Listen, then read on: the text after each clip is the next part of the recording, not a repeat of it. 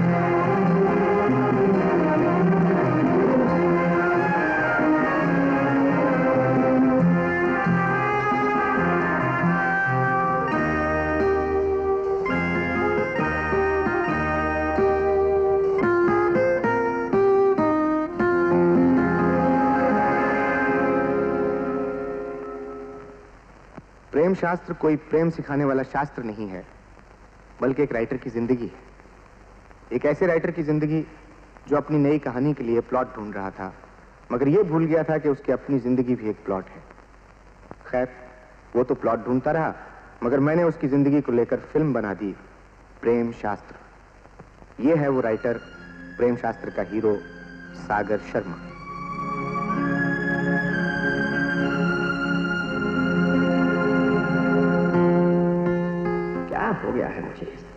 सात दिन हो गए यहाँ आए हुए। अभी तक एक भी प्लॉट नहीं मिला कहानी का।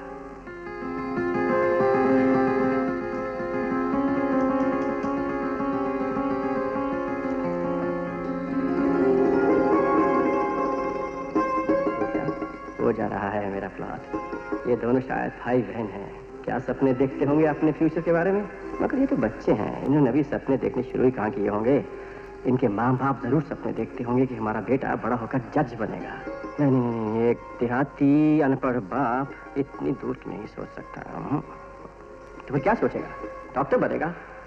हाँ डॉक्टर ठीक है। अगर डॉक्टर हीरो होगा तो कहानी अच्छी बनेगी, मगर, डॉक्टर हीरो कहाँ से होगा? सपने सच थोड़े होते हैं।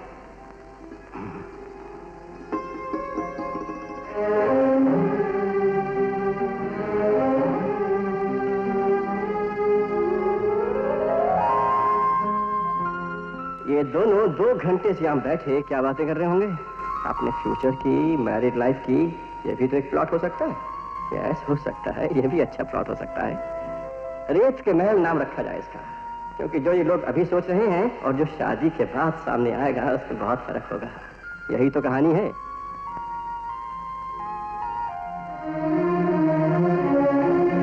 अगर तुम प्लॉट ढूंढ रहे हो या कुछ और और क्या? मन की शांति। तुम मन की शांति ढूंढ रहे हो, सच्ची खुशी ढूंढ रहे हो। ये सब कुछ सच्चे प्यार में मिलता है जो तुम्हें नहीं मिला। चलो होटल चलते हैं, दो एक पैक विस्की मारते हैं, कुछ ना कुछ सूझ ही जाएगा।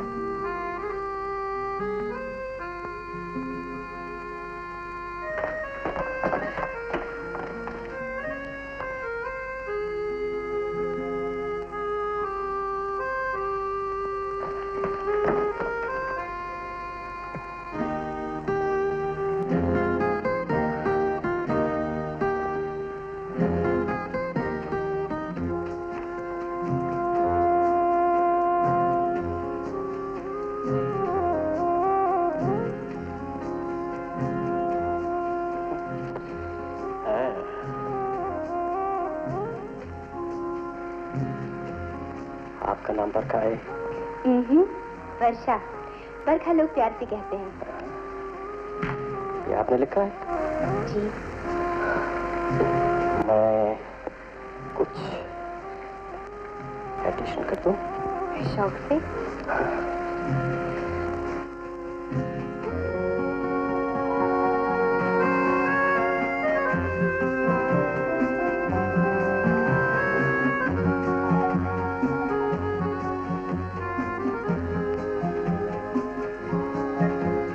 की भेंट प्यार के साथ। बरखा को। प्यार की भेंट तो है मगर प्यार? बाकी रहा फिर कभी ले लीजिए। भूलेगा मत मैं मांगने आ जाऊँगी हम्म? Okay bye bye bye bye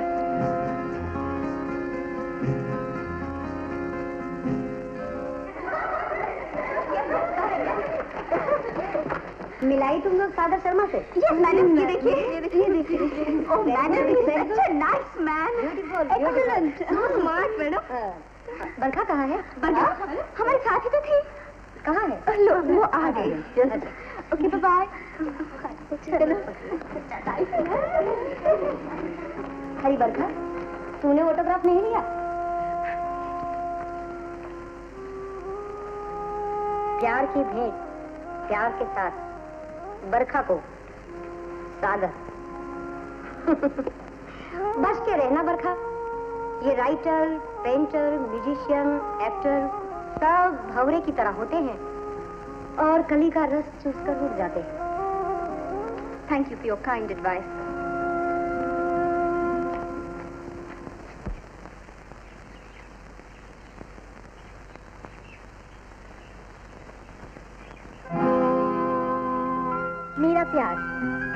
miss Barkha? जी याद है आपने कहा था प्यार बाकी रहा फिर कभी ले लीजिएगा। वही मांगने आई है। फिर कभी। है।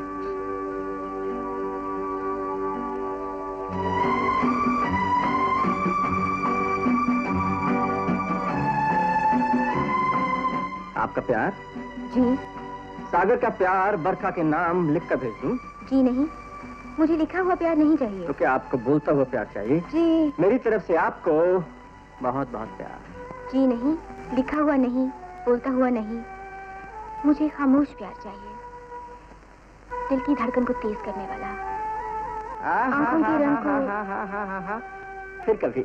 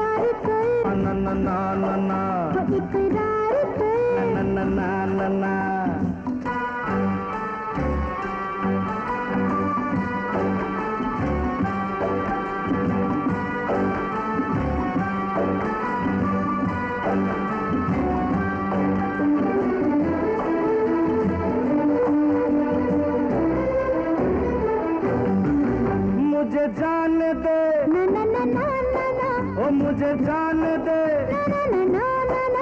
कल आन दे। कल आन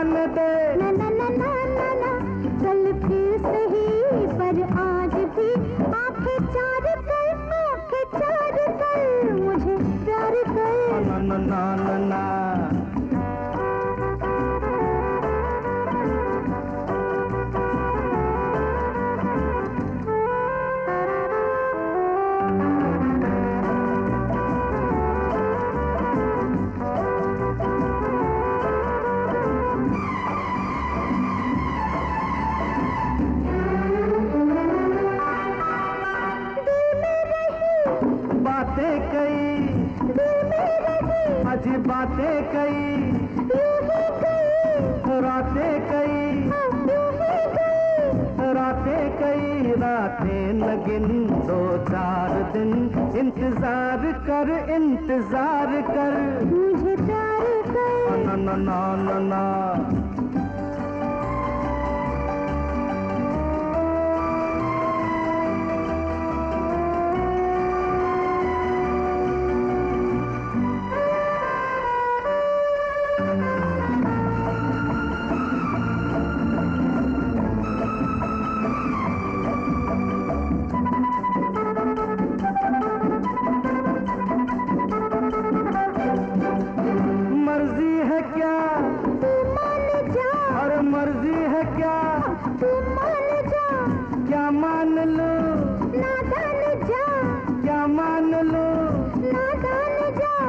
छोड़ दे जिद छोड़ दे जिद छोड़ दे जिद छोड़ दे सौ बार कर सौ बार कर मुझे प्यार कर ना ना ना ना ना इकरार कर ना ना ना ना ना ना मुझे आज तो फुर्सत नहीं कभी फिर सही अजनान ना मुझे प्यार कर ना ना ना ना ना इकरार कर ना ना ना ना ना ना मुझे प्यार कर। ना ना ना ना ना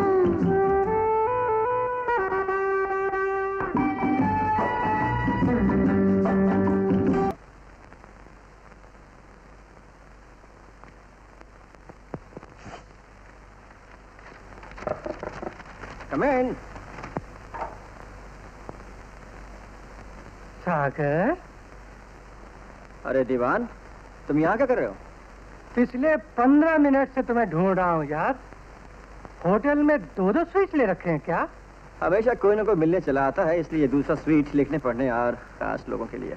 विस्की पियोगे जिस काम के लिए आया हूँ पहले वो खत्म कर लो बाद में देखा जाएगा। ना डोंट टेल मी तुम मेरी तलाश में आए हो या मुझसे मिलने आए हो। कसम ले लो जो मुझे दूसरा कोई काम हो। सुबह की फ़्लाइट से आया हूँ शाम की फ़्लाइट से चला जाऊँगा। खैरियत है। खैरियत नहीं। तुम्हारी किताब तन की ज्वाला ने तहलका मचा दिया। ऑफ़िस में बैठना मुश्किल हो गया। क्यों बिक नहीं रही है? एजेंट्स कॉपियाँ लौटा रहे हैं। बिक तो बहुत रही है। और जितनी ज़्यादा बिक रही है उतना ही ज़्यादा शोर मच रहा है। कौन शोर मचा रहा है? जितनी समाज सुधारक संस्थाएँ हैं ना सबने आसमान सर पर उठा रखा है। गवर्नमेंट पर दबाव डाला जा रहा है कि तुम्हारी किताब को बैन कर दिया जाए। उनका कहना है कि माँ बेटी की शादी हमारा समाज कबूल नहीं कर सकता। इनमें दो चार मशहूर राइटर्स भी हैं। इनमें वो सब लोग होंगे जिन्होंने अंधेरे में शराब पी है और उजाले में प्रोहिबिशन के लिए लड़े हैं। इन सब हिपोक्रेटों से डर गए तुम मिस्टर दीवान अगर कोई 26 साल के लड़के का बाप पैसे के ज़ोर पर या किसी और वजह से किसी 24 साल की लड़की से शादी कर लेता है तो आज की जनरेशन इस बात को मानने के लिए तैयार नहीं है। कि वो 24 साल की लड़की 26 साल के लड़के की माँ बन गई। रिश्ता वो जिसे दिल कबूल करे जिसे दिमाग कबूल करे। कच्चे धागे में गांठे मारने से रिश्ते नहीं बन जाते। तुम कल ही वापस जाओ और एक अच्छा सा वकील फिक्स करो। अगर बैन ऑर्डर आया तो हम ये केस लड़ेंगे। तुम सरकार से केस लड़ोगे? सिर्फ़ सरकार से ही नहीं बल्कि हर उस इंसान से लड़ेंगे जो हमें लकीर का फकीर बनने पर मजबूर करता है। उसकी पिलाओ यार कहाँ है उसकी? That's better. अभी लाया।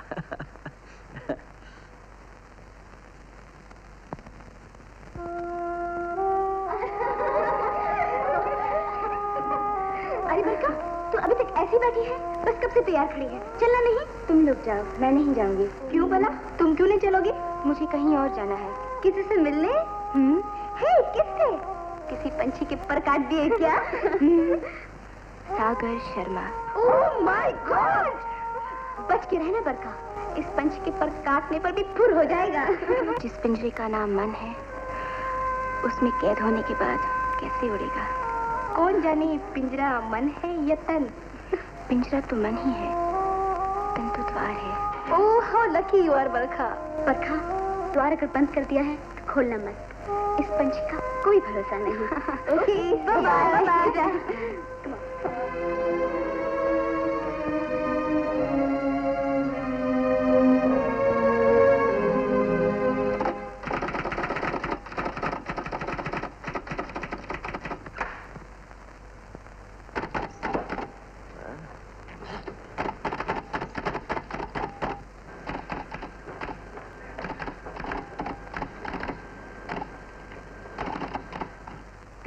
करते रहेंगे आप। अम, जब तक दिमाग चलता रहेगा हम्म? हम्म। दिमाग कब तक चलता रहेगा? जब तक तुम सामने हो पास हो। मेरा पास होना सिर्फ़ दिमाग पे असर करता है। हम्म, दिल पर भी करेगा। Wait one minute just one minute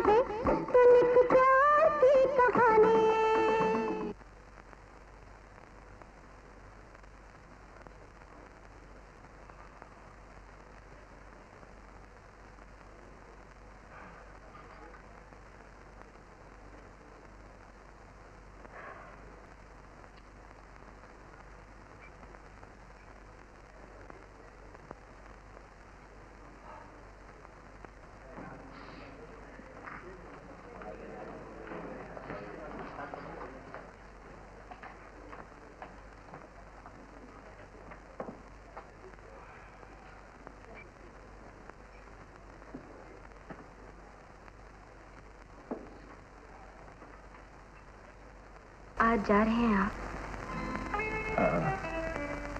ये कैसा प्यार है? न वादे किए न कस्में खाई न कुछ फ्यूचर के प्लान बनाए। इसके बावजूद भी ये कुछ दिन जो मैंने तुम्हारे साथ बिताए हैं ज़िंदगी भर याद रहेंगे। मुझे जन्म जन्म तक याद रहेंगे। तुम तो राइटरों जैसी बातें करने लगी। राइटर के साथ रही हो ना कुछ दिन? तुम लोग कब जा रही हो यहाँ से? कल शाम को। हाँ, रेत की महल जब छप जाएगी तो मुझे भेजेंगे ना? तो और रोज एक खत लिखेंगे? लिखूँगा। मुझसे मिलने को दिल नहीं करेगा। बिछड़ने को दिल नहीं कर रहा है।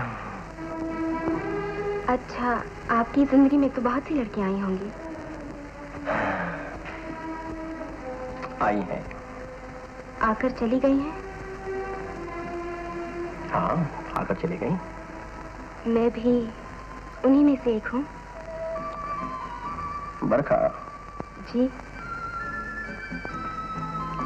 मुझे भूल जाने की कोशिश करना। जब आपको चाहने की चाहत ने दिल में जन्म लिया था सोचा था आपको पाकर खो दूँगी भूल जाऊँगी। मगर आपकी बाहों में आकर बेबस हो गई हूँ। आपकी सांसों में मुझे अपनी ज़िंदगी का संगीत सुनाई दिया है। आपके सीने पर सर कर मुझे स्वर्ग का एहसास हुआ है। मैं नहीं कर सकूँगी आपको। मैं भी कोशिश करूँगा कि तुम्हारा ये प्यार सदा के लिए मेरा हो जाए।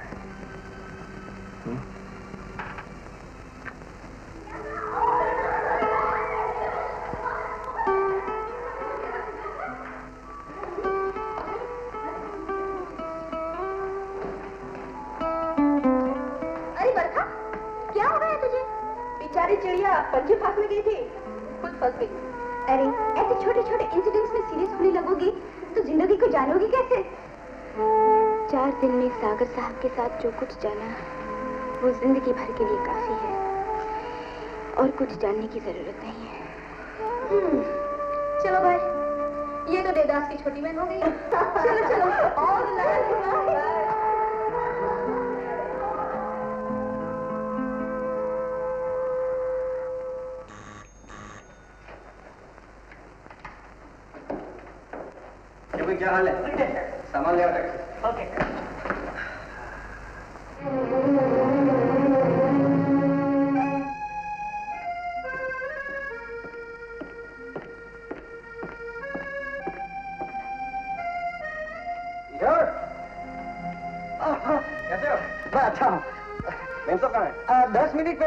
पार्टी में गया। बोल के गया आने में टाइम लगेगा। अच्छा। हाँ। अच्छा थोड़ी कॉफ़ी पिलाओ।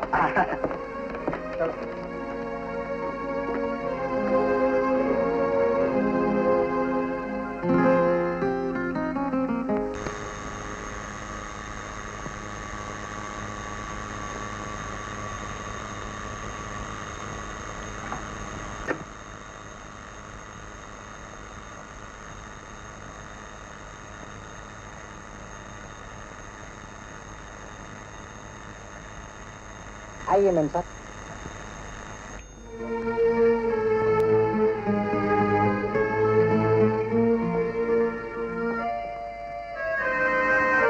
My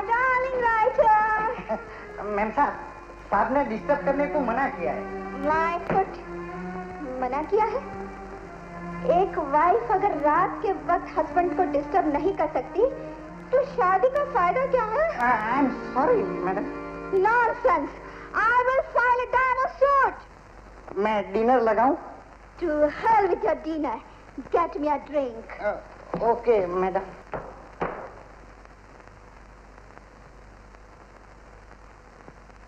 खो गई हूँ आपकी याद में। उलझ गई हूँ आपके ख्यालों में। संभालिए ना मुझे।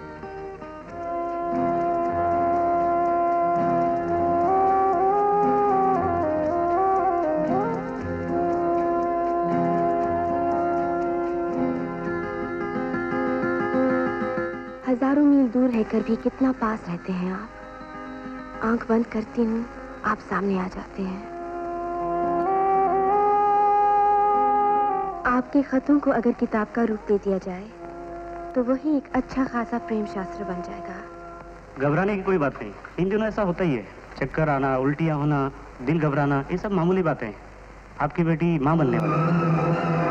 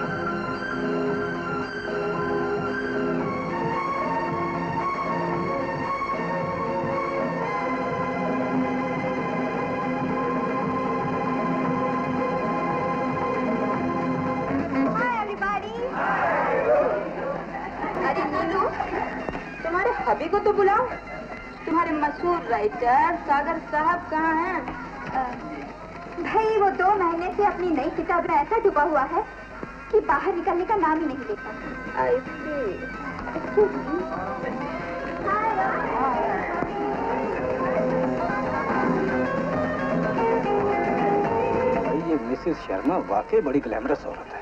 हाँ यार। इतनी उम्र हो गई है लेकिन कम वक्त आज भी जवान नज़र आती है।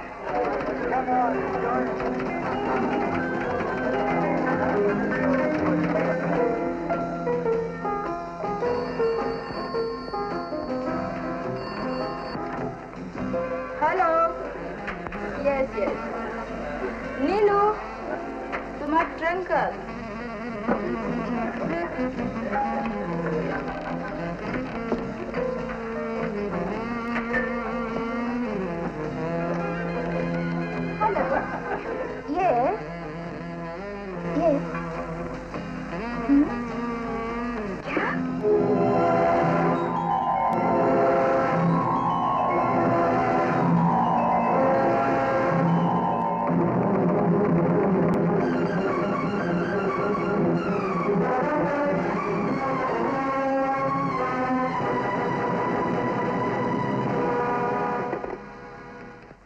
अरे यार सागर तुम तो मुझे मरवा दोगे। तुमने कहा था तीन सौ सफे होंगे।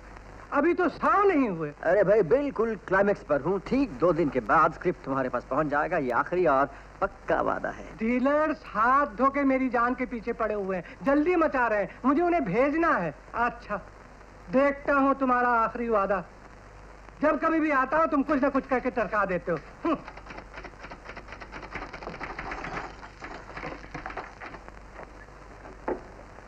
Hello Neelu. How are you dear मैं अच्छी हूँ। आप कैसे हैं दीवान साहब अरे तुम्हारे इस ग्रेट राइडर के पीछे चक्कर काटते काटते मैं दुबला हो गया। मेरे जूते घिस घिस कर चप्पल बन गई। अब दो दिन का वादा है ये चालीसवा वादा है। हाँ अच्छा बाय बाय आओ बैठा।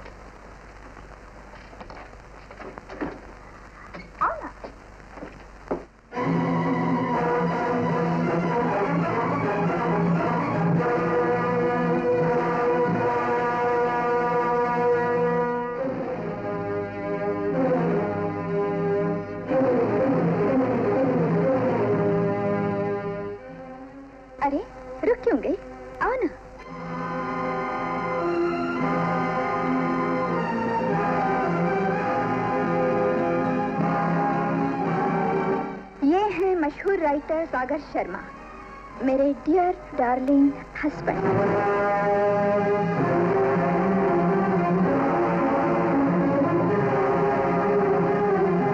और सागर, यह है बरखा, मेरी छोटी बहन।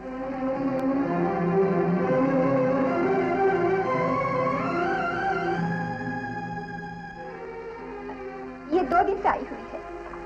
यहाँ इसलिए नहीं लाई। कि तुम्हारी किताब रेत के महल शायद खतरे में पड़ जाती तुम्हें शांति पसंद है और ये बड़ी नटखट है। कहाँ ठहराया है इसे? होटल न्यू स्टार में। दस बारह दिन ठहरेगी फिर चली जाएगी। कल मेरी किताब खत्म हो जाएगी फिर इसे यहीं ले आना। किताब खत्म होने वाला कल शायद मुश्किल से ही आता है ना? खैर देखेंगे। अभी तो मैं इसे बाहर घुमाने ले जा रही थी। सोचा तुमसे मिला दूँ। No don't accuse me of disturbing you you were already out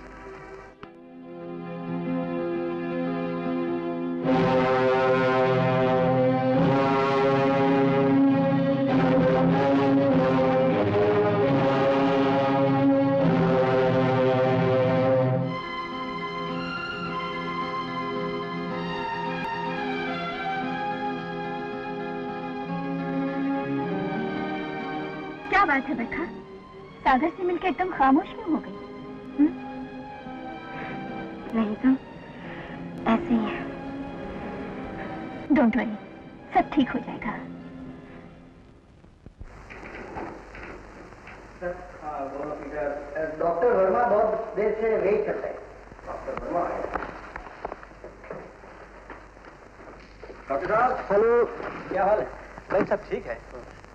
थे क्या? हाँ, ऐसे जरा।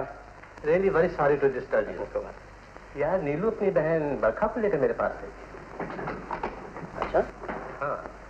बरखा प्रेग्नेंट है क्या? तुम्हें पता? बरखा प्रेग्नेंट है तुम्हें पता है? नीलू उसका अबॉर्शन करवाना चाहती है। तुम मेरे दोस्त हो। बरखा तुम्हारी साली है। मैंने सोचा तुमसे पूछ लूँ रिस्की काम है। कब का फिक्स किया है अबॉर्शन? भाई पहले तो मैंने इनकार कर दिया था। तुम जानते हो मैं सब कुछ नहीं करता। लेकिन फिर मैंने सोचा नीलू शायद किसी दूसरे डॉक्टर के पास चली जाए। इसीलिए मैंने हाँ कर दी। कल सुबह दस बजे आएगी मेरे पास। तुम्हारे नर्सिंग होम में? यस ठीक है, मैं मैं तुम्हें सुबह दस बजे से पहले मिलता हूँ। ओके अच्छा मैं चलता हूँ बाय बाय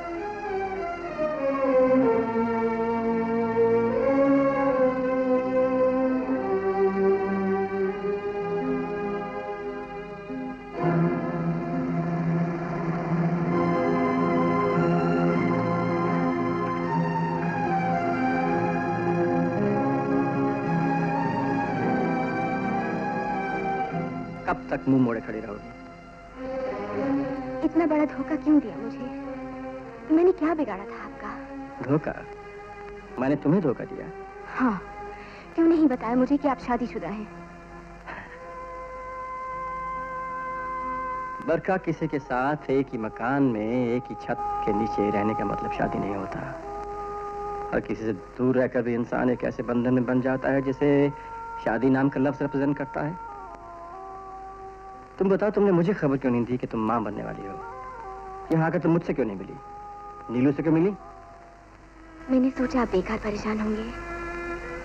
इसलिए आपको बिना बताए कोशिश करती रही कि इससे जान छूट जाए। मगर जितने डॉक्टरों से मिली, कोई इलीगल काम करने को तैयार नहीं था। सोचा यहाँ आकर करा दूँगी। जब यहाँ पहुँची तो स्वागत के लिए आपकी पत्नी स्टेशन पर ही मौजूद थी। फिर दोनों दिन रात के बारह एक बजे तक साथ रही। इसलिए ना मैं आपको फ़ोन कर सकी और ना ही मिल सकी। मगर अच्छा ही हुआ मैं आपके घर आपसे मिलने नहीं आई नहीं तो नहीं तो क्या होता?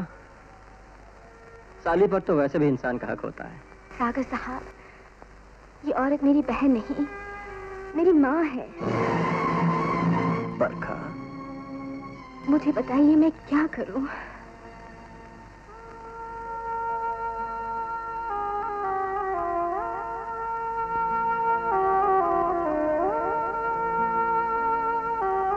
इसीलिए तुम्हें बॉस्टन के लिए राज़ी हो गई हो। और क्या हो सकता है?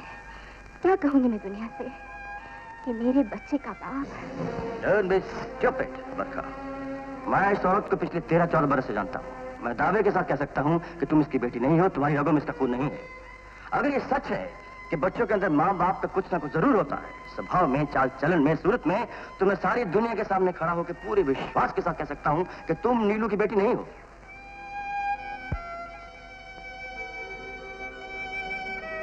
ये नहीं हो सकता।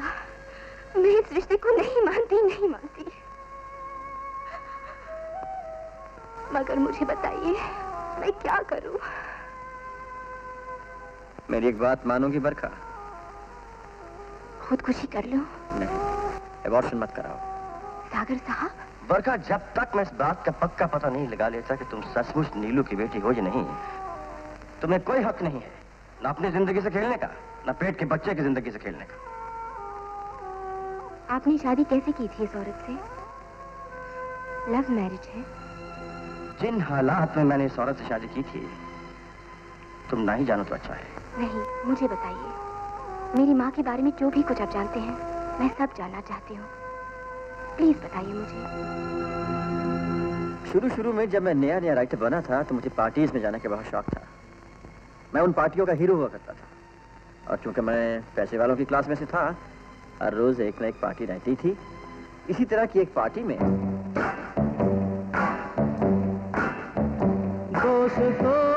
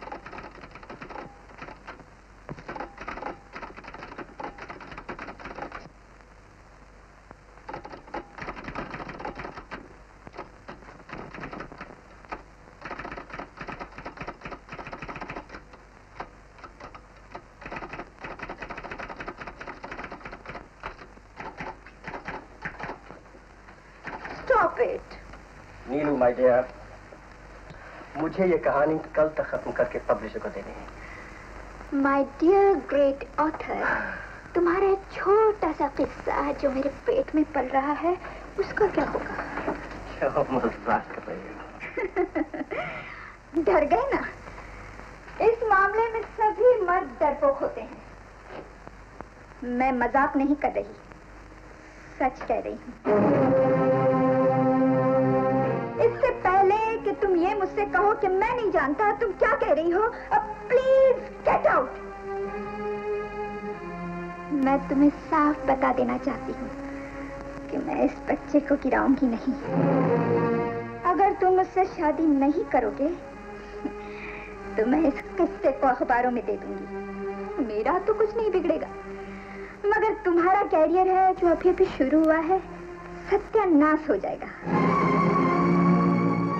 इसलिए माय डियर ग्रेट राइटर तुम्हारा भला इसी में है कि तुम कल मेरे साथ रजिस्ट्रार के दफ्तर में चलकर मुझसे शादी कर। लो मगर वो बच्चा कहाँ है? वो बच्चा? वो बच्चा था ही नहीं तो होगा कहाँ से? ये तो बाद में पता चला कि मुझसे शादी करने के लिए उसने झूठ बोला था। मैं इनोसेंट था उसकी चाल में फंस गया और आज तक फंसा हुआ हम दोनों एक ही नागिन के डसे हुए हैं। मगर मेरा बाप कौन है? मुझे तो ये भी पता नहीं कि मेरी बीवी का शादी से पहले का कोई बच्चा है। तो उसके बाप का पता कैसे होगा? और तुम भी जानकर क्या करोगी? प्लीज़ पता लगाकर मुझे बताइए। मैं उस इंसान के पास जाऊँगी और उसे कहूँगी कि मेरी माँ को इस आदमी के पास से वापस ले आओ जो मेरी ज़िंदगी है मेरी जान है मेरा सब कुछ है। कोई ना कोई रास्ता तो निकालना ही पड़ेगा लेकिन तुम ये प्रॉमिस करो कि तुम अबॉर्शन नहीं कराओगी। नहीं कराऊँगी। मगर आप करेंगे क्या? अगर वो डिवोर्स के लिए राज़ी ना हुई तो? मैं कुछ भी करूँगा। अगर वो डाइवोर्स के लिए राज़ी ना हुई तो भी मुझे डाइवोर्स मिल जाएगा। और अगर ना मिला तो मैं उसका मर्डर करके तुमसे शादी करूँगा। अगर तुम साथ दो तो। साथ? सागर साहब दासी नौकरानी बीबी जो भी जगह मुझे आपके जीवन में मिलेगी मैं उसे खुशी से कबूल कर लूँगी। मगर एक बात याद रखिएगा मैं अपनी माँ जैसी माँ नहीं हूँ। मेरे पेट में सचमुच आपका बच्चा है। मैं जानता हूँ और ये भी जानता हूँ कि जिस प्यार की मुझे बचपन से तलाश है वो नीलू की बाहों में नहीं बरखा की आँखों में है। Please find out who my father is I will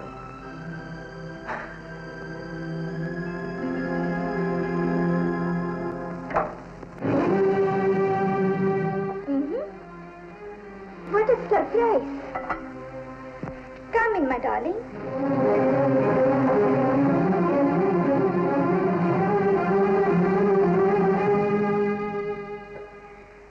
आज इतनी रात को मेरी याद कैसे आ गई? हैव ड्रिंक मेरा आखिरी जाम है। तुम पहला ही पी लो मेरे साथ। मैं शराब पीने नहीं आया हूँ। Then let's go to bed बिस्तर और शराब के अलावा और भी कोई रीजन हो सकता है मेरे यहाँ आने का? मान क्यों नहीं लेते? That you are no more you शराब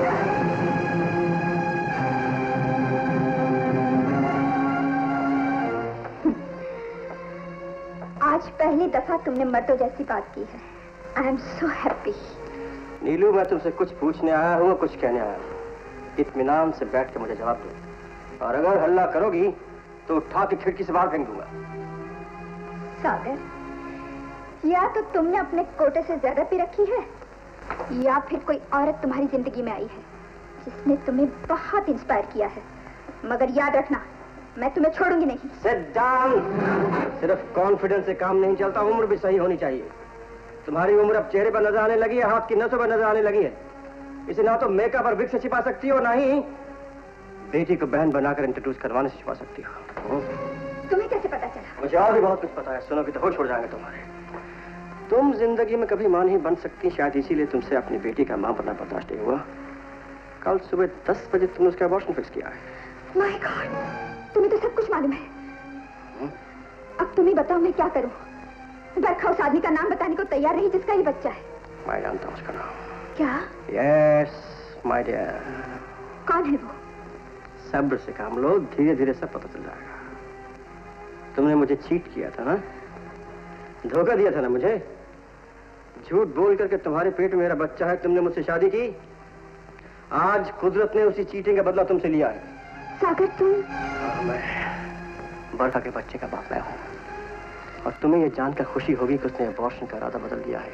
ये बच्चा पैदा होगा नीलू। मेरा बच्चा तुम्हारे पेट से नहीं बरखा के पेट से। तुम झूठ बोल रहे हो सागर। ये नहीं हो सकता। सच जब बहुत कड़वा होता है तो इंसान अपने आप को फरेब देने के लिए यही कहता है कि ये झूठ है। ये तो मुझे कहना था। पूछना भी बाकी है। बरखा का बाप कौन है?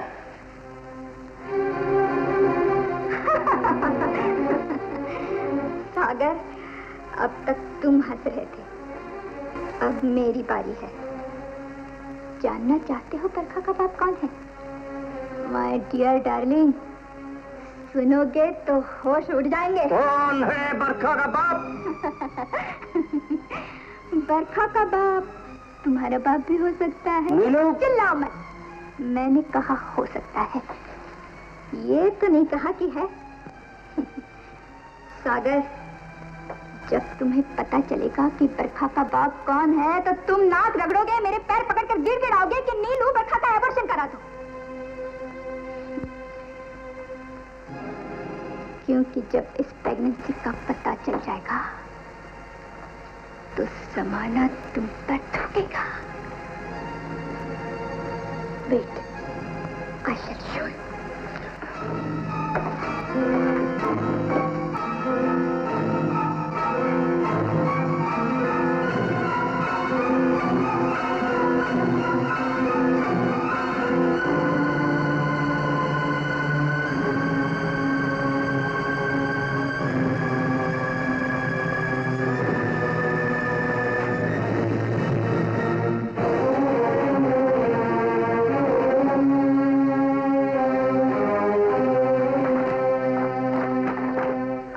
क्यों नहीं? ताला क्यों लग गया तुम्हारी ज़ुबान पर? कह दो कि तुम इसे पहचानते नहीं। कह दो कि ये तुम्हारा बड़ा भाई नहीं है।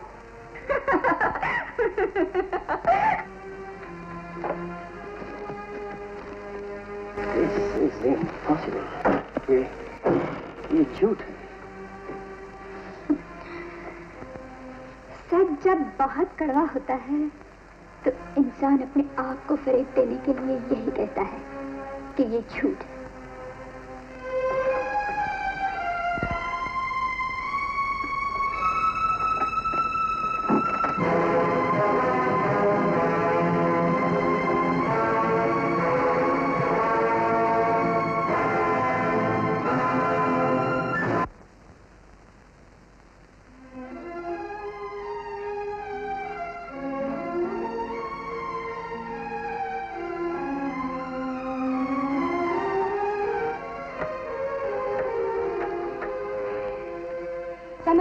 आता मेरा क्या रिश्ता है आपसे? एक रिश्ते से मैं आपकी बीवी हूँ एक रिश्ते से मैं आपकी भतीजी हूँ और एक रिश्ते नहीं बरखा ऐसा नहीं है।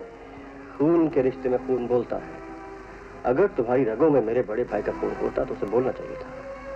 तुम्हें देखकर मुझे ये महसूस होना चाहिए था कि तुम्हारी भतीजी हो या बहन हो या लेकिन ऐसा नहीं है। तुम्हें देखकर मुझे सिर्फ़ यही लगता है कि तुम्हारी प्रेमिका हो या बिलबिट हो। वो तो अनजाने में था। अब सब कुछ जानकर? सब कुछ जानकर भी वही महसूस होता है जो अनजाने में होता था। इसीलिए तो कहता हूँ कि ये सब झूठ है। मैं कल ही जाता हूँ मनाली बड़े भाई से मिलने। सारी बात साफ़ हो जाएगी। मैं भी साथ चलूँगी। मुझे अब अकेले बहुत डर लगता है। हाँ तुम भी साथ चलना। लेकिन अगर ये सच निकला बाकी आपके बड़े भाई साहब मेरे पिता हुए तो? तो क्या? हम दोनों एक दूसरे का हाथ पकड़कर किसी नदी या समंदर में कूद पड़ेंगे? गिल्ड की ज़िंदगी से तो बहुत अच्छी है मगर हमारा दोष क्या है? हमारा दोष नहीं है हमारे खून का दोष है। उसे बोलना चाहिए था कि हम चाचा भतीजे हैं। लेकिन बोला नहीं। और उसकी खामोशी की सजा भुगतनी पड़ेगी। अगर मरना पड़ा तो सचमुच अब मेरा साथ देंगे। अब तो फैसला कर लिया है कि जिएँगे तो साथ और मरेंगे तो साथ।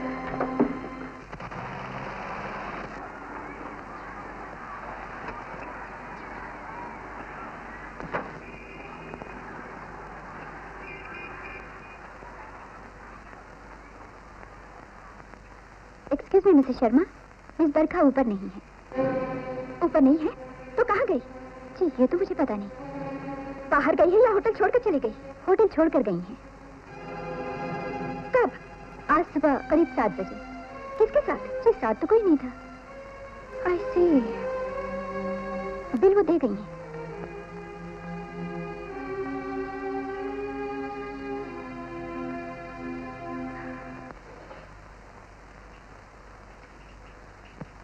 मिस्टर दीवान? आइए आइए Mr Sharma. Please take you seat thank you मैं एक मिनट में ये प्रूफ चेक करके आपसे बात करता हूँ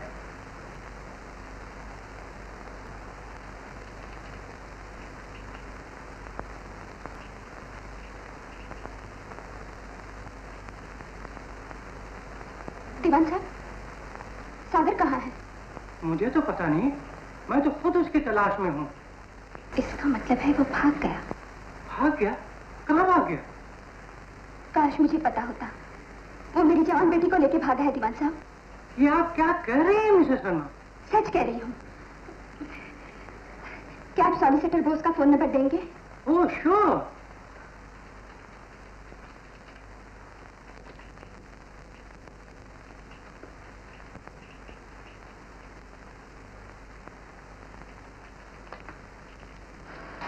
लीजिए मिसेस शर्मा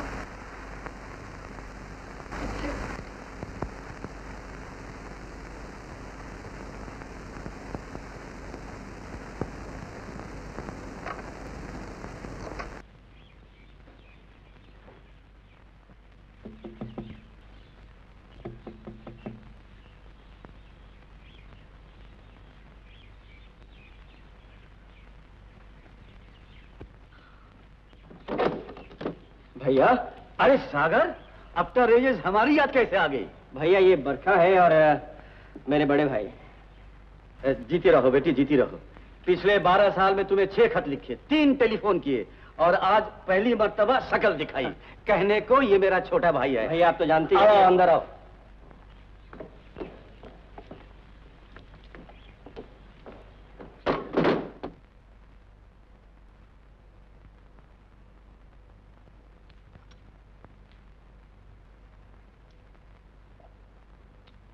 भैया ये बरखा नीलू की लड़की है। नीलू? ओ यू मीन तुम्हारी बीवी की? लेकिन मैं इसका बाप नहीं। नीलू के मुझसे शादी करने के करीब आठ साल पहले ये पैदा हुई मगर मुझे इसकी पैदाश का कोई इल्म नहीं था। नीलू ने मुझे ये कभी नहीं बताया कि मुझसे शादी करने से पहले का भी उसका बच्चा है। इसी ला इल्मी में मेरी और बरखा की मुलाकात हुई और हम एक दूसरे को चाहने लगे। और आज ये चाहत एक ऐसे मोड़ पर है कि हमने फैसला किया है कि जिएँगे तो साथ मरेंगे तो साथ। तुम्हारा मतलब है जो औरत तुम्हारी बीवी है उसकी बेटी से तुम प्यार करते हो? जी। डोंट यू थिंक ये मॉरल से गिरी हुई बात होगी? समाज इसे बर्दाश्त नहीं करेगा? इसमें इमोरल क्या है भैया? प्यार करना शादी करना या कैसी बीवी को तलाक देना जिसके साथ शादीशुदा ज़िंदगी का एक लम्हा भी सुकून से ना गुजरा हो। ये सब ठीक है मगर बीवी की बेटी से शादी करना। भैया फ़र्ज़ करो मेरे और बरखा के ये पता चलने से पहले कि बरखा नीलू की बेटी है। नीलू मर जाती है और मैं बरखा से शादी कर लेता हूँ। किसी को कुछ पता नहीं चलता। Everything is fine yes everything is fine मगर पता लगने के बाद? पता लगने के बाद क्या बदल जाता है? रिश्ता बदल जाता है सागर। तुम उस लड़की के बाप बन जाते हो जिससे तुम शादी करने जा रहे हो। कैसे भैया? मुझमें और बरखा में बारह साल का फ़र्क है। और मैंने आज तक नहीं सुना कि कोई आदमी बारह साल की उम्र में बाप बन गया हो। बच्चों की तरह बातें मत करो सागर। आई मीन टू से तुम इस लड़की की माँ के पति तो हो। हाँ हूँ। आप जानना चाहेंगे हम कैसे पति पत्नी हैं? जब हम दोनों एक दूसरे से फेडअप हो चुके हैं तो एक साथ रहने का मकसद क्या है? अलग होने का भी मकसद क्या है? क्या तुम्हें कोई ऐसी मिल गई है जिससे तुम मुझे डाइवोर्स देकर शादी करना चाहते हो? अभी तक तो नहीं मिली लेकिन ढूंढ लूँगा। तो फिर क्या तुम आज़ादी चाहते हो? आज़ादी की ज़रूरत शायद मुझसे ज़्यादा तुम्हें है।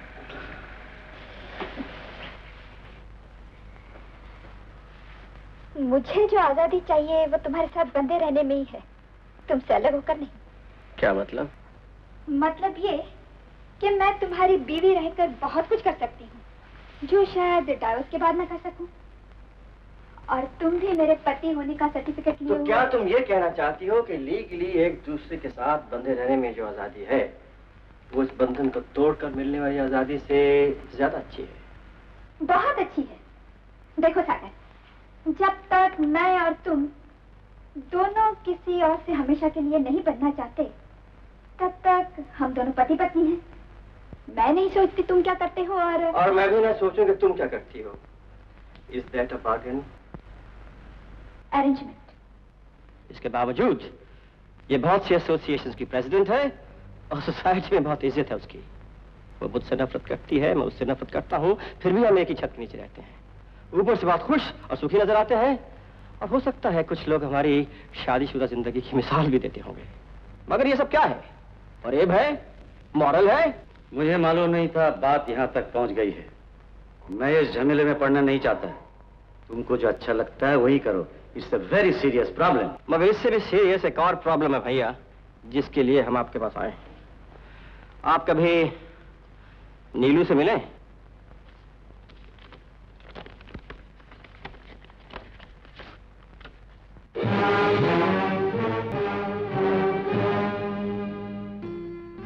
ये 1951 में मिस इंडिया थी ना? थी। मैं जानता हूँ इसे। क्योंकि मैंने इस कंटेस्ट में एक्टिव पार्ट लिया था। इस औरत का कहना है भैया कि आप बरखा के बाप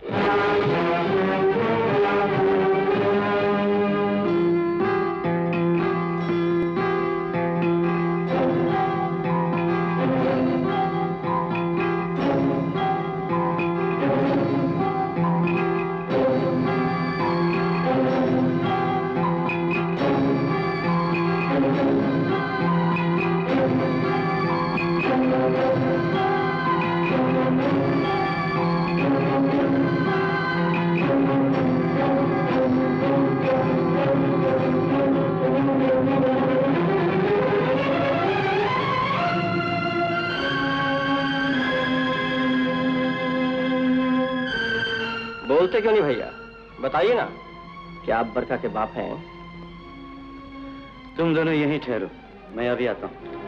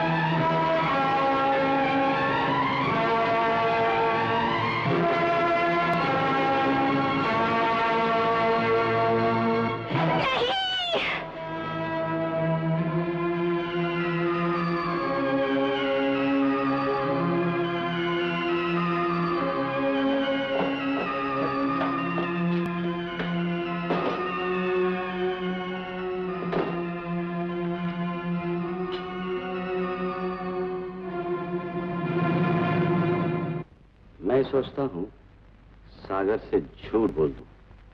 उससे क्या होगा? कम से कम वो अपनी बीवी की बेटी से शादी तो नहीं करेगा। और अगर कुछ और कर लिया तो? और क्या?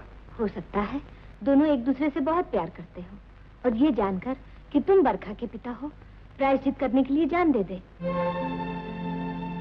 हम्म तो फिर मैं क्या करूँ? तुम्हें क्या करना है? जो सच है वो बता दो। सागर बच्चा थोड़े ही है। जो ठीक समझेगा, करेगा। जरा मेरी पुरानी एड्रेसेस वाली डायरी तो देना।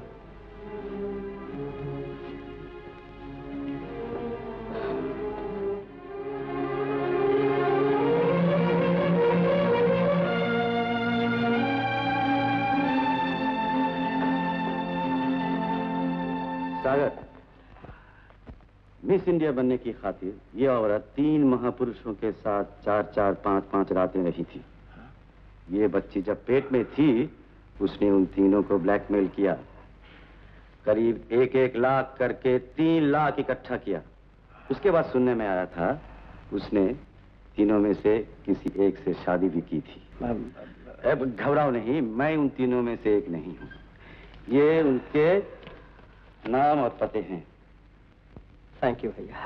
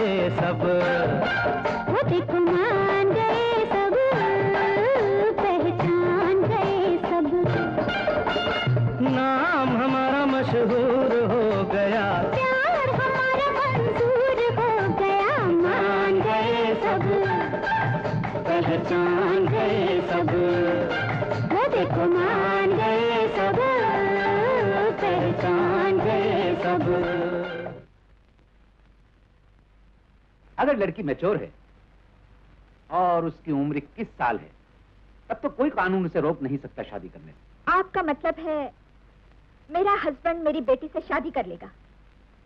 और उससे कोई कानून रोक नहीं सकता? जब तक मिस्टर सागर आपके हस्बैंड हैं ये शादी हो ही नहीं सकती। क्योंकि दो शादियाँ अलाउड नहीं हैं।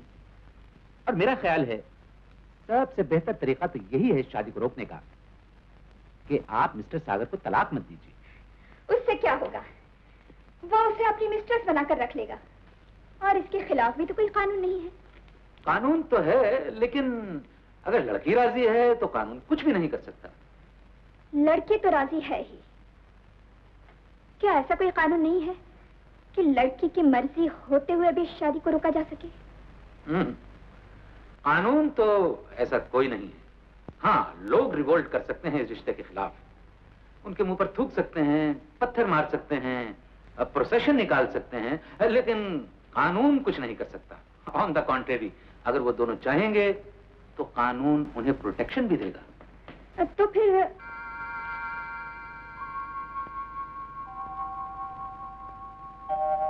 okay Mr boss thank you very much फिर कभी मुझे आपकी ज़रूरत हुई तो मैं आपको फ़ोन करके बुला लूँगी। Thank you very much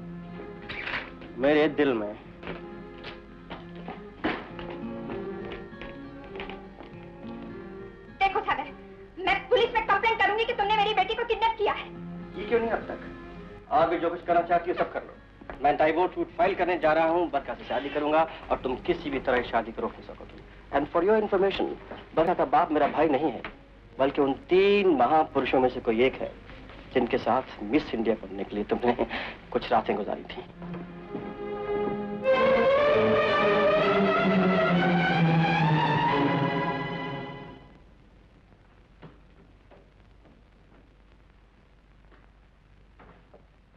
publishers के एग्रीमेंट ले आया हूँ। हाँ मिली। क्या कहती है? कहती तो बात कुछ है लेकिन कर कुछ नहीं सकेगी। कहती है कि मेरे खिलाफ कंप्लेंट करेगी मुझे अरेस्ट करवाएगी। तुम क्या सोचने लगी? आपकी ज़िंदगी में आकर मैंने आपको मुसीबत में डाल दिया। बरखा तुम मेरी ज़िंदगी में मुसीबत नहीं मोहब्बत बन के आई हो। वो मोहब्बत जो आज मुझे अपनी ज़िंदगी से भी ज़्यादा अज़ीज़ है। ये स्कैंडल बन गया तो आपके करियर का सत्यानाश हो जाएगा। करियर फिर बन जाएगा। बरखा दूसरी नहीं मिलेगी।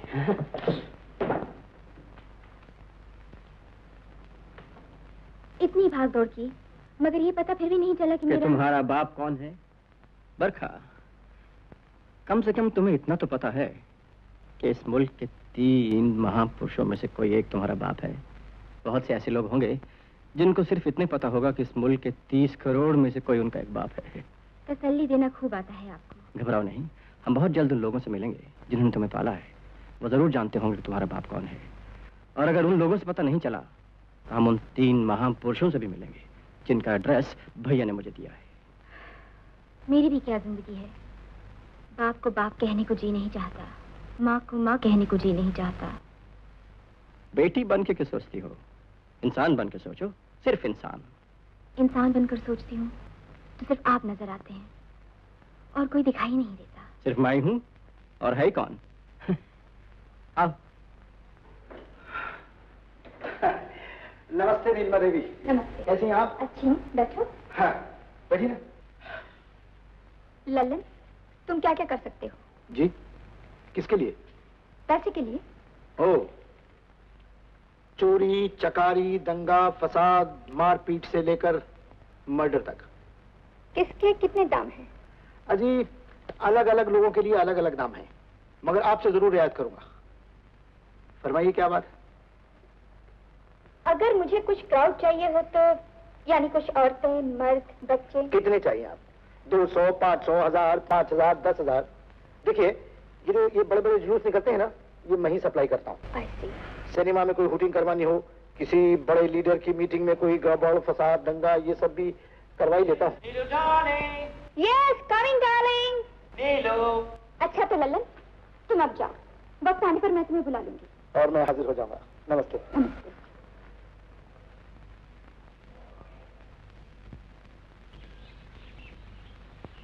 यही मकान है?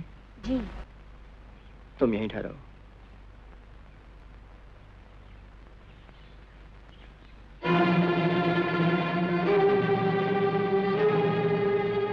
अरे बेटी बरखा तू यहाँ कब आई? अभी अभी। चाचा जी ये सागर शर्मा बहुत बड़े लेखक हैं और ये है हमारे सुंदर चाचा जी।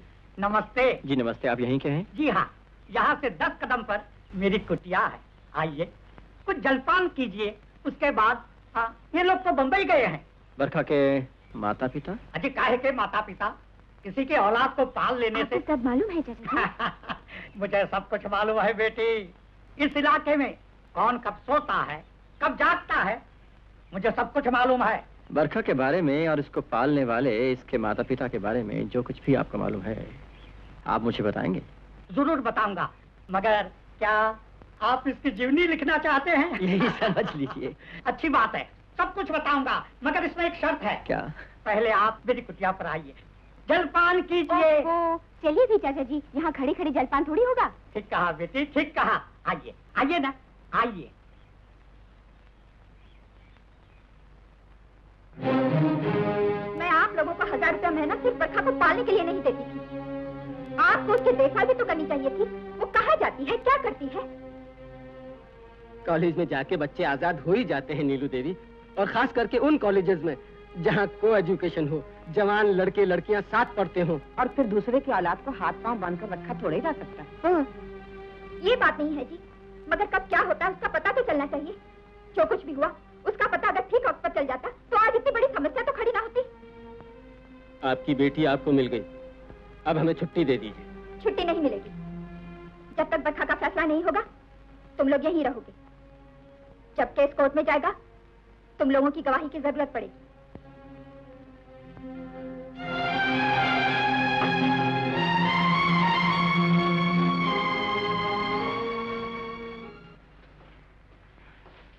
दीवान ये उन तीन महापुरुषों की बातें हैं जिन्होंने 20-22 साल पहले इंडिया को मिस इंडिया बनाया था।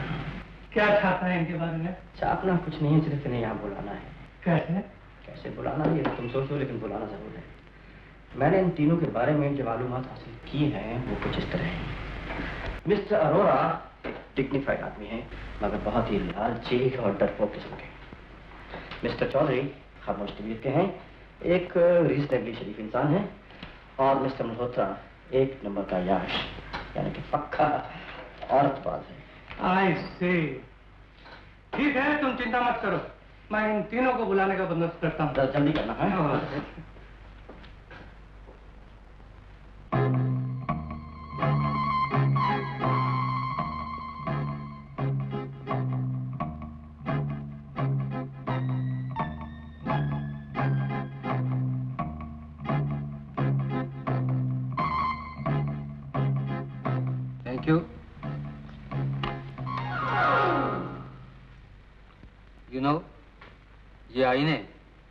मुझे बिल्कुल पसंद है क्यों सर?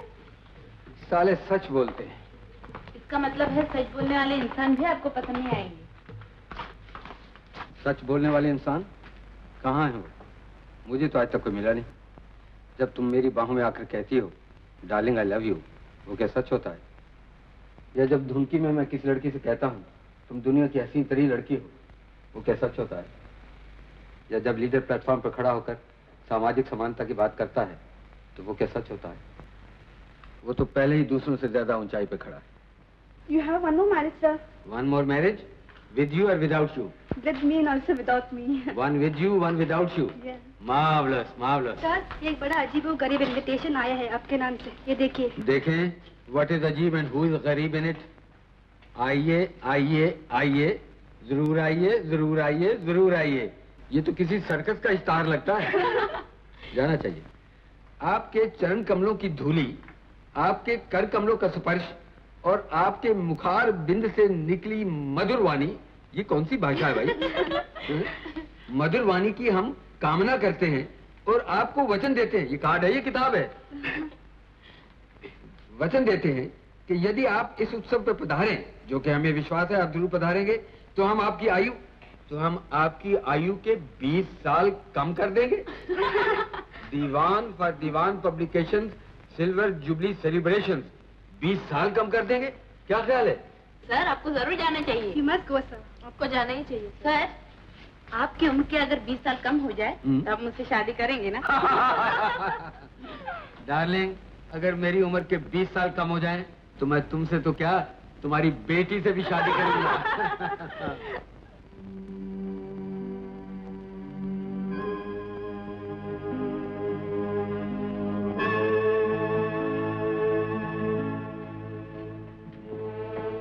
आइए पधारिए। कार्यक्रम आरंभ होने में तनिक विलंब है। ये राष्ट्रभाषा तो हो गई। अब कुछ जनता भाषा में बोलिए समझ तो आए। अच्छा अच्छा बैठिए। आओ भाई। वाह वाह ये मकान है या ताजमहल का छोटा भाई?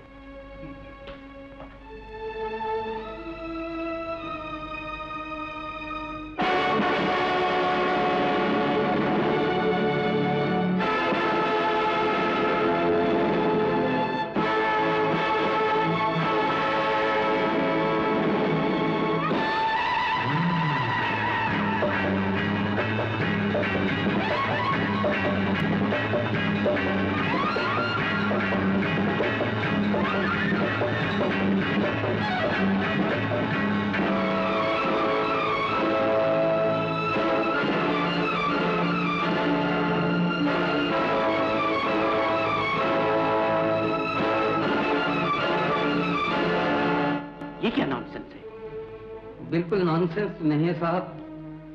प्लेन के रिटर्न टिकट देकर बुलवाया है। बड़ी बड़ी तस्वीरें लगवाई हैं। 20-22 साल पुरानी याद ताज़ा करवाई जा रही है।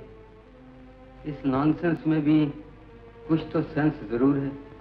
I fully agree with you Mr Malhotra ये सब मुझे तो काफ़ी एक्साइटिंग लग रहा है। आप भी कमाल कर रहे हैं। मैं पूछता हूँ कि किसी को क्या हक है कि हमारी प्राइवेट ज़िंदगी हमारे प्राइवेट मामला में दखल दे? आखिर किसी का क्या मकसद हो सकता है? हम सबको इस तरह यहाँ बुलाने का। आप सबको नंगा करना ही नहीं नंगा करने से मेरा मतलब ये नहीं कि मैं आपके कपड़े उतारूँगा। मैं आपके चेहरे से इज़्ज़त की नकाब उतारूँगा, जो इस समाज के अंधे होने का सबूत है हिपोक्रेसी की मिसाल है। मैं आपकी पीठ से शराफत की वो मिटा दूँगा, जो आपने पैसे के ज़ोर पर लगवा रखी है। मैं आपको ठीक बाईस साल पीछे ले जाऊँगा। जबकि आपने कोई ऐसा काम किया था, जिसे समाज बुरा कहता है, और जिसे छुपा रखने के लिए आपने शायद एक एक लाख रुपया कीमत अदा की थी। मिस्टर मल्होत्रा, क्या आपको याद है कि आज से 22 साल पहले जब मिस इंडिया कॉन्टेस्ट होने में 15-20 दिन बाकी थे, एक रात जब आप एक लड़की के साथ अपने बेडरूम में शराब पी रहे थे?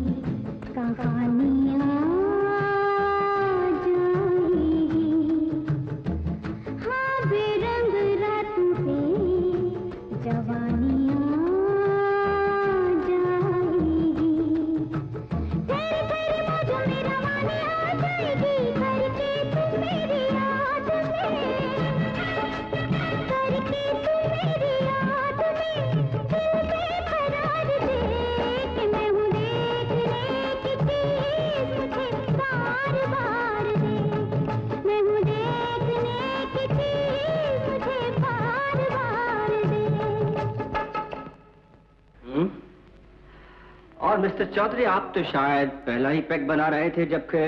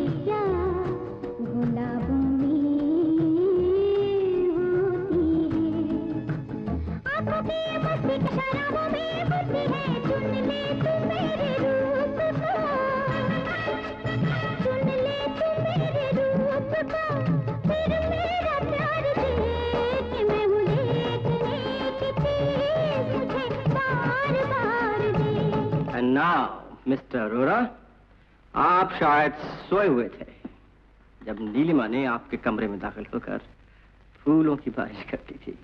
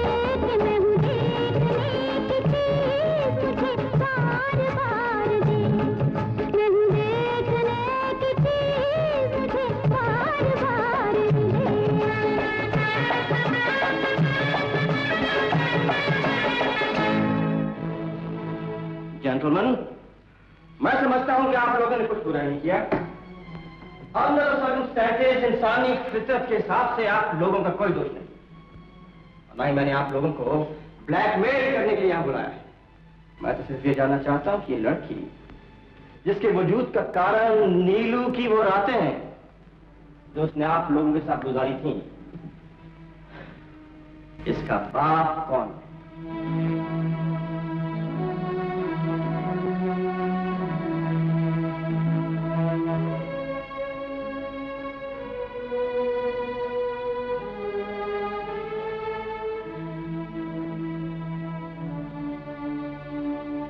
में से कोई इस लड़की का बात नहीं। मिस्टर अरोरा ये लड़की आसमान से नहीं टपकी है ज़मीन से भी नहीं उगी है। जरा गौर से इसके चेहरे को देखिए। इसे पहचानिए। इसके बारे में सोचिए। ये इसके फ्यूचर का सवाल है। देखिए मिस्टर मैं आपसे अकेले में कुछ बातें करना चाहता हूँ। हाँ हाँ कहिए। तो आइए।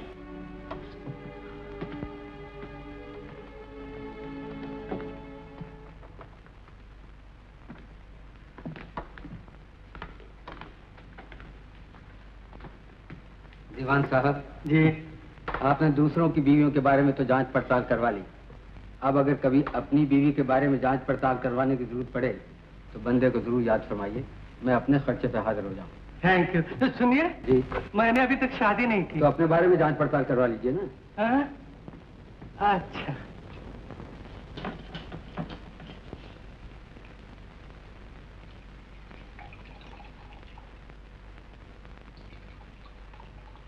मानता हूँ नीलू तुम्हारा भी जवाब नहीं। जो आज से बीस साल पहले था आज भी बिल्कुल वही। शराब और शबाब दोनों अपनी जगह कायम है। थैंक यू मिस्टर मल्होत्रा आपकी फ्लैटरी की आदत गई नहीं। ये बताइए कि 20 साल के बाद आज अचानक आपको मेरी याद कैसे आ गई? नीलू बीस साल पहले की हुई करतूतों का हिसाब मुझसे आज मांगा जा रहा है। मैं तुमसे ये पूछने आया हूँ कि अगर तुम्हें सागर से शादी करनी थी तो कई और भी थे। आखिर क्या वजह थी कि तुमने उस सरफरे राइटर को वो जगह दी जिसके लिए आधा हिंदुस्तान पागल था? नाम, काम या दाम? नहीं, मिस्टर मल्होत्रा, आप तो जानते हैं। नाम तो मैंने काम का सहारा लेकर कमा ही लिया था। और फिर दाम भी वसूल कर लिए थे। लाख रुपए तो आप ही ने दिए थे। भूल गए? कैसे भूल सकता हूँ नीलू? मैं उन ऐशों में से नहीं हूँ जो याशी की कीमत सोसाइटी के डर से अदा करते मैं उन याशों में से हूँ जो याशी की कीमत अपने दिल से अदा करते मैं एक अच्छा याश हूँ। मगर जो कीमत मैंने तुम्हें अदा की थी वो काफ़ी नहीं थी। मैं आज तुम्हें कुछ और भी देने आया हूँ। मैं तुम्हें ये बताने आया हूँ कि तुम्हारा पति तुम्हें नंगा करना चाहता है। क्या मतलब? मतलब ये कि उसने तुम्हारी रंगीन रातों के बारे में छानबीन शुरू कर दी और उस छानबीन में तुम्हारी बेटी भी उसके साथ है। क्या? मैं उन दोनों को देख लूँगी। उसने उन चार महापुरुषों में से तीन को बुलाया था जो तुम्हें मिस इंडिया बनाने के जिम्मेदार थे। ये जानने के लिए कि तुम्हारी बेटी का बाप कौन है। जो चीज़ तुम्हें भी नहीं मालूम वो जानना चाहता है। मैं उसे जान से मार डालूँगी। एक बात और भी याद रखना नीलू। तुम जैसी औरत के लिए पति की नज़रों से गिरकर जीना तो शायद मुश्किल नहीं होगा मगर औलाद की नज़रों से गिरकर एक माँ के लिए जीना शायद बहुत मुश्किल होगा। मैं उन दोनों को खत्म कर दूँगी। दोनों को? औरत को समझना मुझ जैसे अयाश की अकल से भी बाहर है। हाँ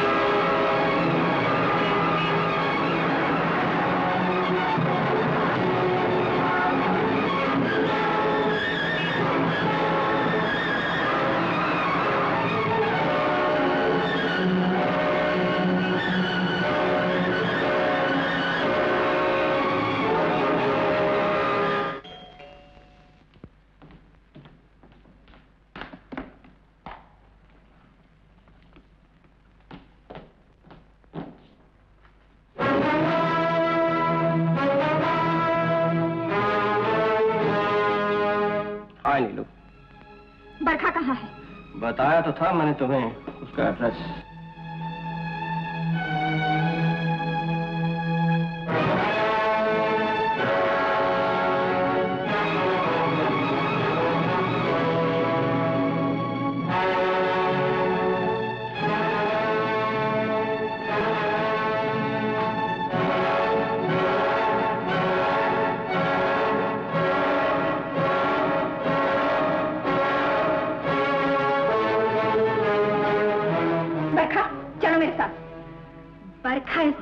सागर साहब के सिवा किसी के साथ कहीं नहीं जाएगी। मैं तुम्हारी माँ हूँ बरखा। तुमने ऐसा कुछ किया है जिसके लिए मैं तुम्हें माँ कहूँ या समझूं? इसने ऐसा क्या किया है कि तुम इसे अपना सब कुछ समझने लगी हो? इन्होंने मेरे लिए वही किया है जो नज़र आँखों के लिए करती है धड़कन दिल के लिए करती है। सागर इससे कह दो कि मेरे साथ चली चले वरना मैंने कहा मैं नहीं जाऊँगी कहीं नहीं जाऊँगी। मुझे इस इंसान से सिर्फ़ मौत ही अलग कर सकती है। अच्छी तरह सोच लो बरखा। अगर तुम मेरे साथ नहीं चलोगी तो मैं तुम दोनों को गोली मार दूँगी।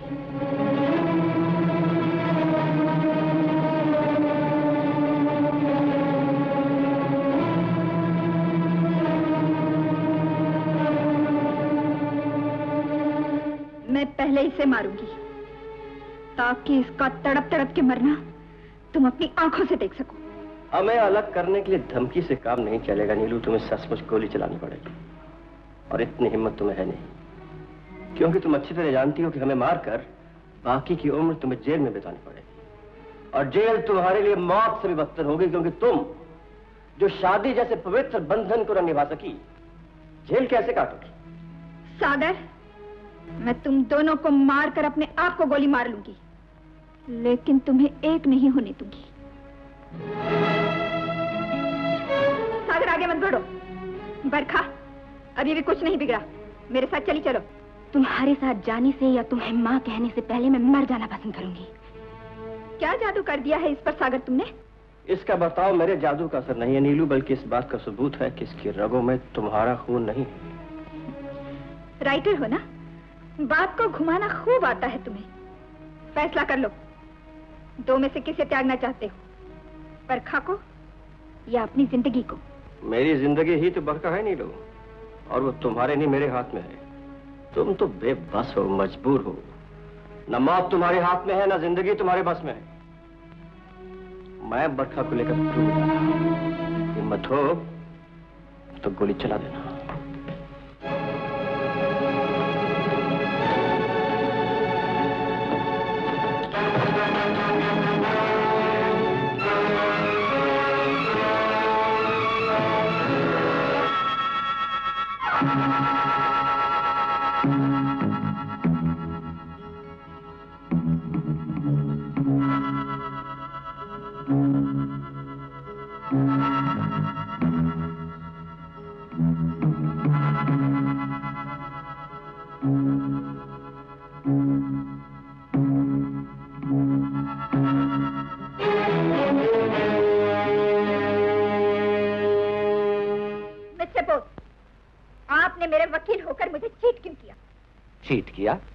ये आप क्या कह रही हैं?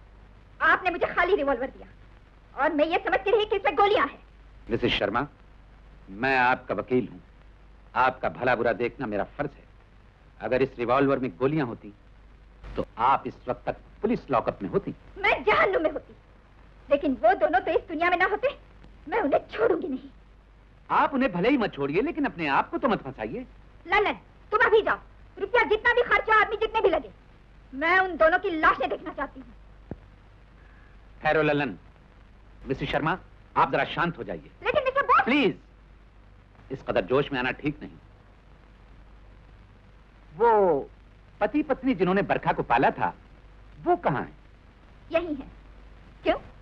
क्या वो आपका साथ देंगे? उनको तो मैंने खरीदा हुआ है मिस्टर बोस। वो वही करेंगे जो मैं चाहूँगी। वही बोलेंगे जो मैं कहूँगी। तो फिर इस खून खराबे की ज़रूरत नहीं। हम मिस्टर सागर पर परखा को किडनैप करने के जुर्म में केस कर सकते हैं। ये केस कोर्ट में होगा तो उसके लिए डायवोर्स हासिल करना मुश्किल हो जाएगा। ललन, तुम जाओ, मैं तुम्हें फिर बुलवा लूँगी।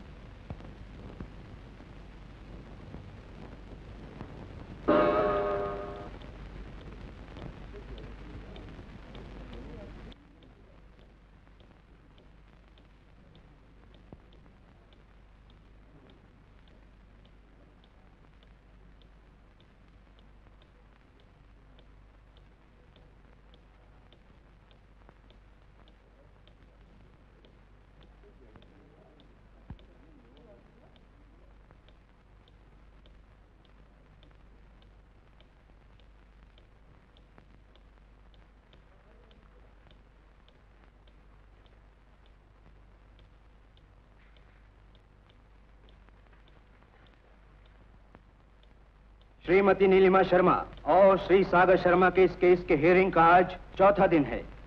श्रीमती नीलिमा शर्मा की तरफ़ के तमाम गवाहों के बयान दर्ज हो चुके हैं। एविडेंस रिकॉर्ड हो चुके हैं।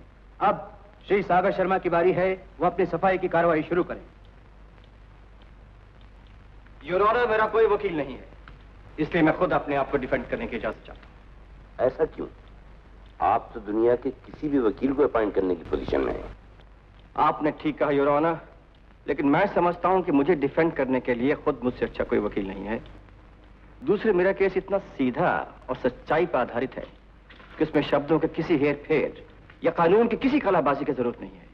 मेरा विश्वास है कि सच्चाई को जितने साधारण तरीके से पेश किया जाए उतना ही अच्छा है। Any objection Mr Bose no objection your honour all right Mr Sagar आप अपने आप को डिफेंड कर सकते हैं। प्लीज़ प्रोसीड योर ऑनर मुझ पर इल्ज़ाम है कि मैंने मिसेस नीलिमा शर्मा की माइनर लड़की को किडनैप यानी कि अगवा किया है। मिसेस नीलिमा शर्मा, चूँकि अपने आप को मेरी पत्नी कहती हैं, इसलिए इल्ज़ाम समाज और कानून दोनों की नज़र में बड़ा संगीन बन जाता है। इसमें एक भी बात सच नहीं है योर ऑनर ना तो ये लड़की बरखा माइनर है, ना नीलिमा मेरी पत्नी है, और ना ही बरखा नीलिमा की बेटी है। मिस्टर सागर आपकी बात को सही मानने के लिए सबूत चाहिए योर ऑनर सबूत है। मेरी हर बात का सबूत मेरे पास है। मैं अपने सबसे पहले गवाह मिस्टर एंथनी डिसूजा को बुलाने की इजाज़त चाहता हूँ। गवाह को पेश किया जाए। श्री एंथनी डिसोजा हाजिर हो। श्री एंथनी डिसोजा हाजिर हो।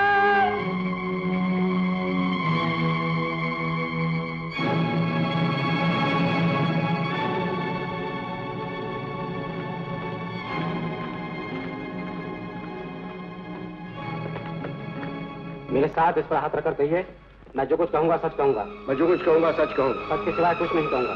सच के सिवाय कुछ नहीं कहूँगा। मिस्टर एंथनी आज से पंद्रह बीस साल पहले आप क्या करते थे? जी मैं मैरिज रजिस्ट्रार था।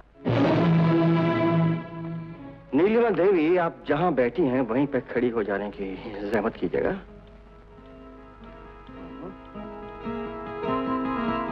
मिसेस नीलमा शर्मा आप थोड़ी देर के लिए खड़ी हो जाइए।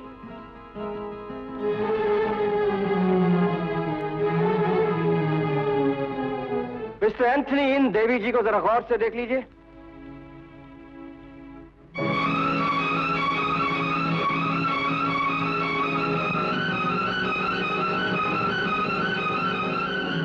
देख लिया, मिस्टर सागर। आप बैठ सकती हैं, मिस्टर शर्मा। हाँ तो मिस्टर एंथनी, जरा ठीक से सोच के बताइए कि आज से पहले आपने इस औरत को कब और कहाँ देखा?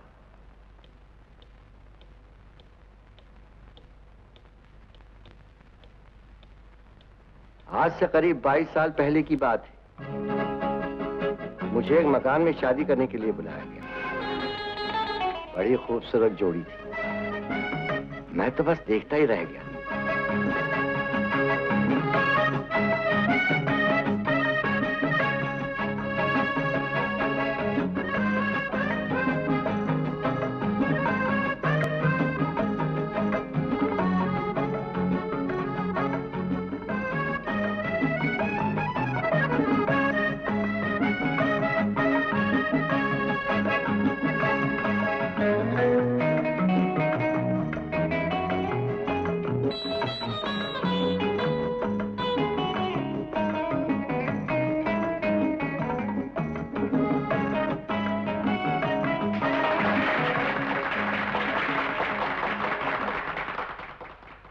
शादी की रस्म खत्म होने के बाद भी वहाँ से आने को जी नहीं चाह रहा था। अच्छा मिस्टर एंथनी जिस इंसान की शादी नीलिमा के साथ आपके सामने हुई थी क्या उसे भी आप इतनी आसानी से पहचान सकेंगे जितनी आसानी से आपने नीलिमा को पहचाना? जी नहीं आई डोंट थिंक सो क्यों? क्या बताऊँ सागर साहब 22 साल पहले मैं जवान था और इनकी शादी से पहले मुझे पता चल चुका था कि उस साल की मिस इंडिया है। बस। मैं इन्हीं को देखता रहा। Order thank you Mr Anthony that's all your honour Mr Anthony कल दोपहर को आपने क्या खाया था? जी अ, याद नहीं। ताज्जुब की बात है कल दोपहर को आपने क्या खाया था आपको याद नहीं। लेकिन 22 साल पहले आपने किसकी शादी करवाई थी वो आपको याद है? क्या बताओ वकील साहब? औरत और रोटी में यही तो फ़र्क है। Please that's all your honour your honour मेरा दूसरा गवाह है मिस्टर राजन अरोरा।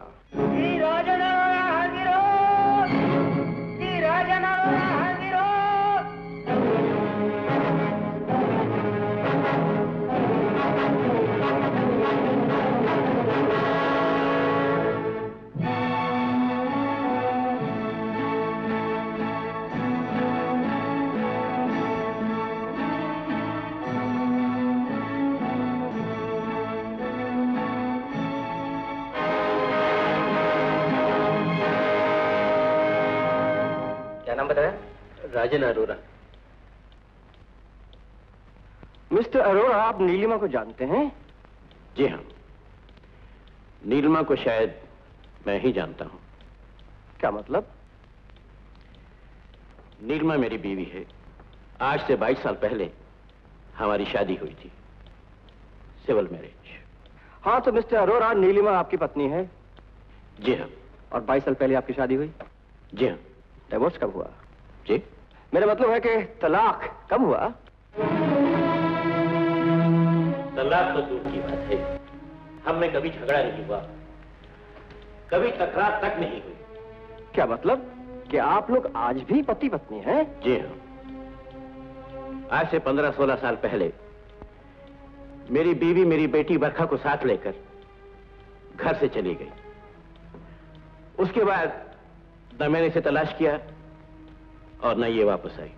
इसका मतलब यही हुआ ना कि आप लोग आज भी पति पत्नी हैं? जी हाँ। आप शादी का सर्टिफिकेट लाए? जी हाँ। Please.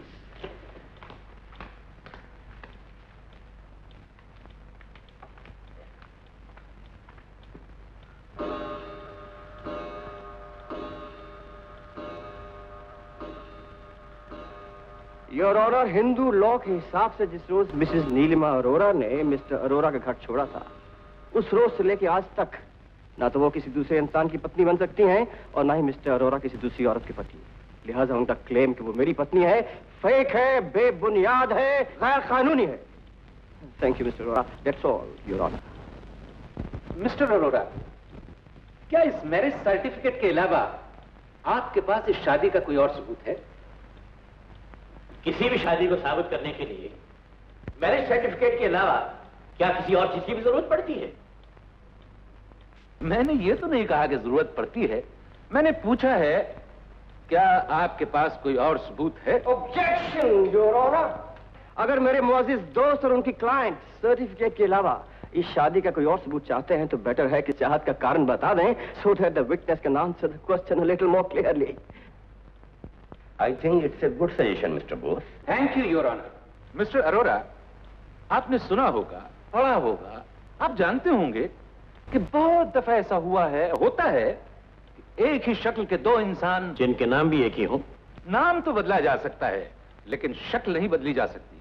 इसीलिए मैं आपसे पूछ रहा हूँ कि सर्टिफिकेट के अलावा क्या और कोई सबूत है आपके पास इस बात का कि यही वो नीलमा देवी है जो आपकी पत्नी है?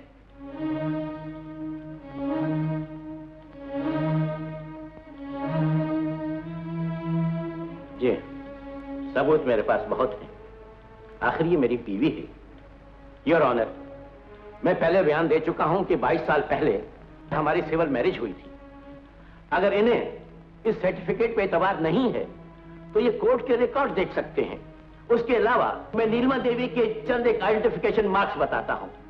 उनकी पीठ पे दाएँ तरफ़ तीन काले तिल हैं जो एक लाइन में That's all, Your Honor. I object, Your Honor. गवाह का यह दावा कि नीलिमा देवी की पीठ पर दाएँ तरफ़ लाइन से तीन काले तिल है। नीलिमा देवी की तरफ़ से झुठलाया जाना चाहिए नहीं तो कबूल किया जाना चाहिए। यस योर ऑनर मेरी पीठ पर तीन काले तिल हैं। मगर इसके साथ मेरे पास एक मैरिज सर्टिफिकेट भी है जिसमें मैं मिस्टर अरोरा की नहीं बल्कि मिस्टर सागर की पत्नी हूँ। और मैं ये भी बड़ी आसानी से बता सकती हूँ कि मिस्टर सागर के जिस्म पर कहाँ कितने तिल हैं? Order please order your honour झगड़ा ये नहीं है कि कौन नीलिमा देवी का पति है। झगड़ा यह है कि कानूनी तौर पर नीलिमा देवी किसकी पत्नी है। और इस बात का फैसला सर्टिफिकेट की तारीख देकर किया जा सकता है। पहले की तारीख वाली शादी लीगल है, कानूनी है बाद की तारीख वाली शादी इलीगल है गैर कानूनी है लिहाजा उसे शादी कहा या माना नहीं जा सकता।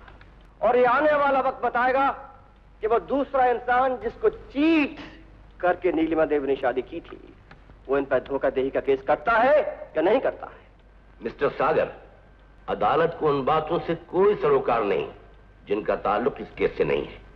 Now proceed with your case your honour इस केस का पहला हिस्सा यानी कि मैं नीलिमा देवी का पति हूँ।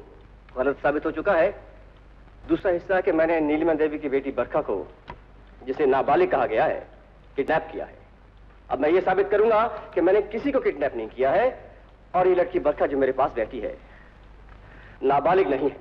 इस बात को साबित करने के लिए मैं मिस्टर बोस के गवाह, सज्जन भरद्वाज को बुलाना चाहता हूँ। श्री सज्जन भरद्वाज हाजिर हो! श्री सज्जन भरद्वाज हाजिर हो!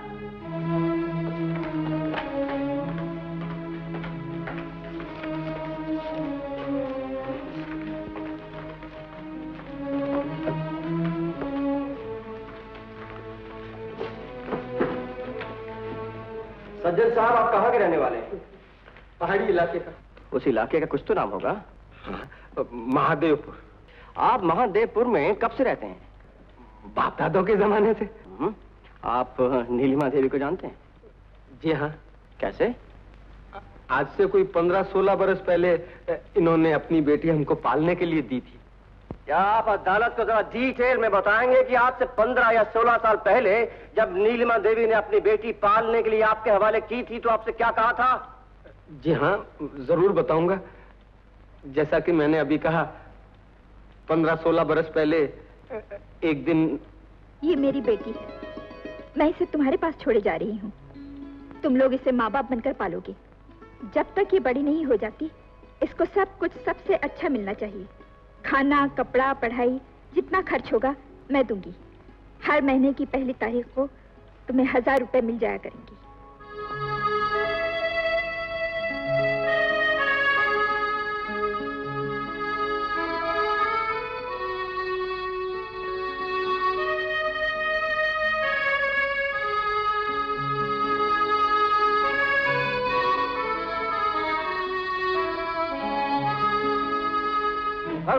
पहली तारीख को आपको हज़ार रुपए मिलता रहा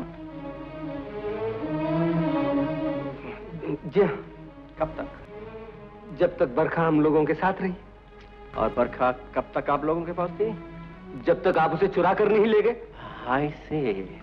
मिस्टर सज्जन क्या नीलिमा देवी की बेटी बरखा इस वक्त अदालत में मौजूद है? हर इंसान को गौर से देखकर जरा सोच के बताइएगा आपने सच बोलने की कसम खाई है।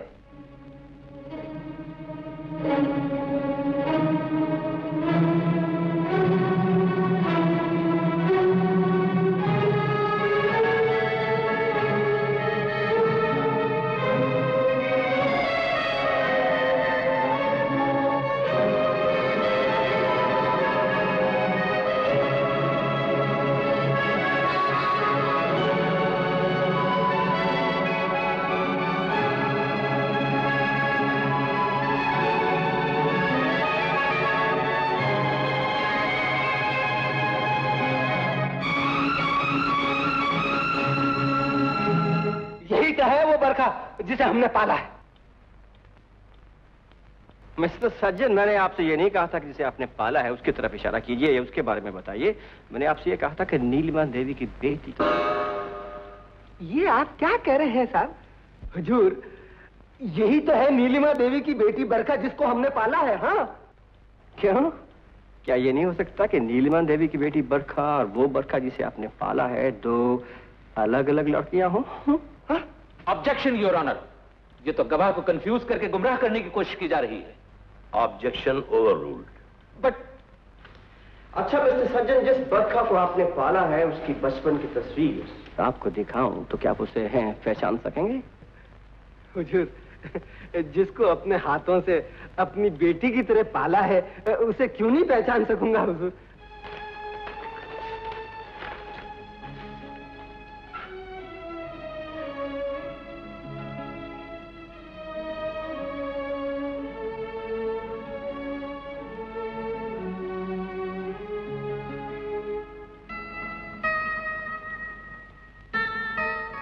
मैं इस आदमी की याददाश्त की दाद देता हूँ यूराना इसने सही पहचाना।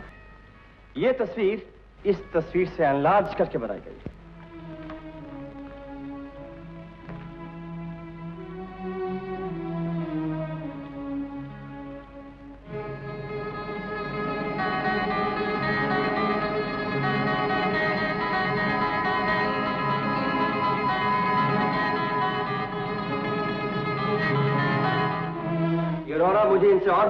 कुछ पूछना है लेकिन इस स्टेज पर मैं इस विटनेस को विद्रॉ करके एक दूसरी विटनेस को बुलाने की इजाज़त चाहता हूँ।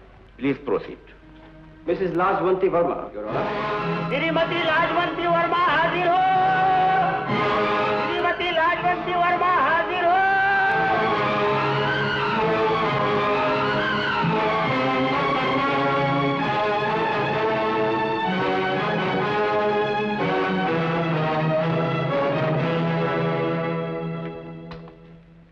मेरे साथ इस पर हाथ रखकर कहिए मैं जो कुछ भी कहूँगी सच कहूँगी। मैं जो कुछ भी कहूँगी सच कहूँगी। सच के अलावा कुछ नहीं कहूँगी। सच के अलावा कुछ नहीं कहूँगी।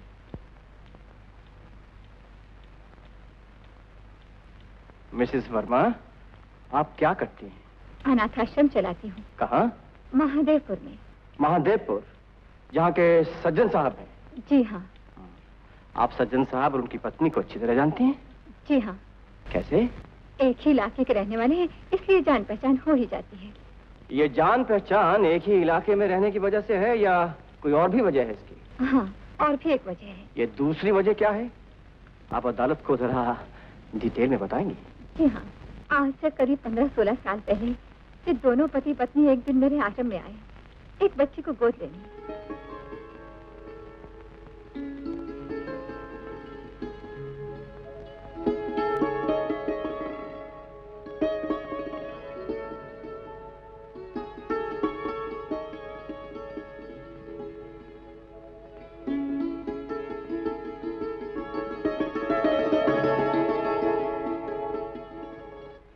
वजह है मेरी इनकी जान पहचान की। मिसेस वर्मा ये बच्ची जो आज से पंद्रह या सोलह साल पहले मिस्टर और मिसेस सज्जन भरद्वाज ने आपके आश्रम से अडॉप्ट की थी उसकी उम्र क्या रही होगी उस वक्त? यही कोई पाँच छह साल। पॉइंट नोट किया जाए योर ऑनर नीलिमा देवी की बेटी बरखा की भी उम्र यही थी अच्छा मिसेस वर्मा उस बच्ची का नाम क्या था? Suman. Thank you Mrs Verma. Your honour मैं मिस्टर सज्जन को दोबारा विटनेस बॉक्स में बुलाने की इजाज़त चाहता हूँ।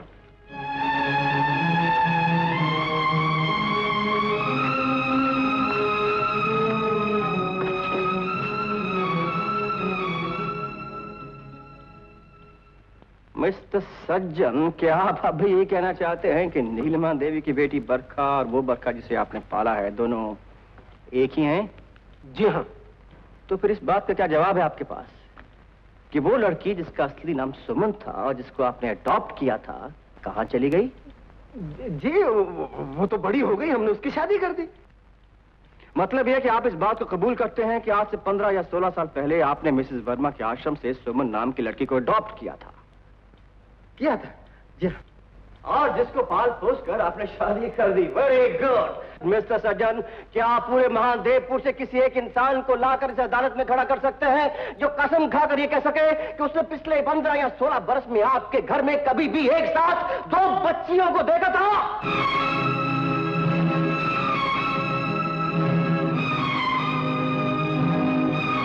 जवाब दीजिए मिस्टर सज्जन खामोश क्यों है?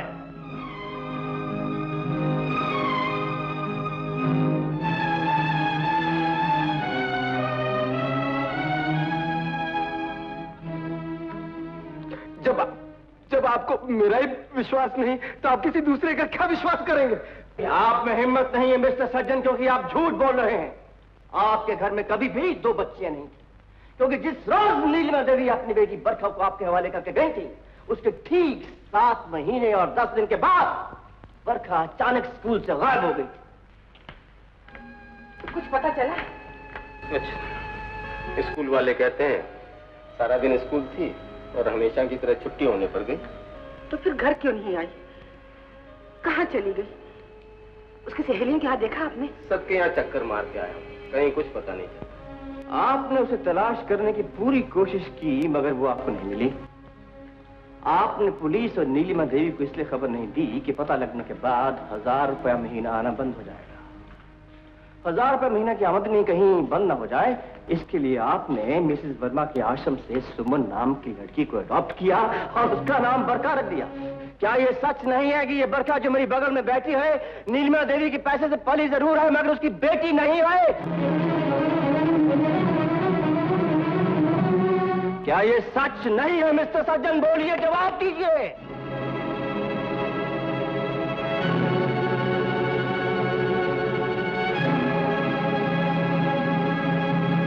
जी हाँ। सच। ऑब्जेक्शन योर ऑनर मैं मिस्टर सागर और मिस्टर सज्जन की इस मन घड़त कहानी को मानने के लिए बिल्कुल तैयार नहीं। अगर ये बरखा नीलमा देवी की बेटी नहीं है तो नीलमा देवी की बेटी कहाँ है? कौन है? योर ऑनर क्या ऐसा नहीं हो सकता कि मिस्टर सागर ने अपनी कहानी को सच साबित करने के लिए नीलमा देवी की असली बेटी को कहीं गायब करवा दिया हो? शुक्र है मेरे मोजिज दोस्त असली और नकली की पॉसिबिलिटी को तुम्हारे योर ऑनर अब मैं अदालत को ज़्यादा सस्पेंस में नहीं रखूँगा। नीलिमा और मिस्टर अरोरा की बेटी बरखा को मिस्टर अरोरा स्कूल से चुरा कर ले गए थे योर ऑनर और वो इस वक्त मिस्टर अरोरा की बगल में बैठी है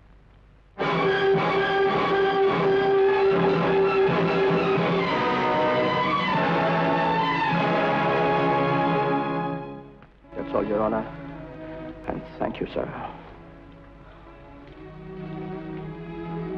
दोनों तरफ़ के गवाहों के बयानात सुनने और उन पर गौर करने के बाद मिस्टर सागर शर्मा अदालत आपको इस मुकदमे से बाइज्जत बरी करती